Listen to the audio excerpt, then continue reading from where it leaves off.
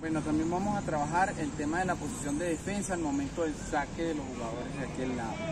Cuando normalmente un jugador, eso suele pasar mucho en el juego, que ellos sacan mucho en la diagonal, normalmente los jugadores nos movemos dependiendo del espacio, pero en la diagonal.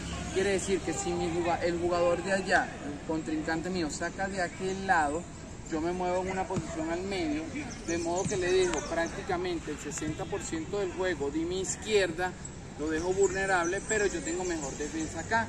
Y nosotros evitamos que la línea sea, sea jugada. esa es una de las intenciones. Pero ¿qué pasa también si nosotros, el otro jugador del contrincante saca del otro lado?